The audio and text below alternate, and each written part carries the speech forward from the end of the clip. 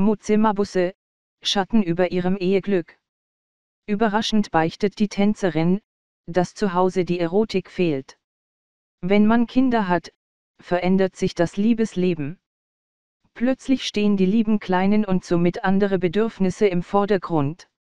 Eine Situation, die auch Mutze 40, und ihr Mann Evgeny Foznyuk, 40, kennen.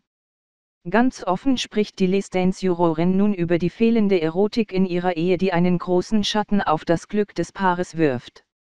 Wir hatten wundervolle Jahre vorher, in denen wir viel Spaß hatten und alles gemacht haben. Aber jetzt sind für uns gerade andere Sachen wichtiger, so antwortet die Mutter einer Tochter, 3, im Interview auf die Frage nach der Sinnlichkeit. Ein Satz, den viele Eltern wohl nachvollziehen können, der aber auch nachdenklich macht. Denn auf Dauer kann ein unerfülltes Liebesleben zu einem Bruch in der Ehe führen, weil sich einer von beiden irgendwann vernachlässigt fühlt. Doch was können Mutzi und Evgeni dagegen tun?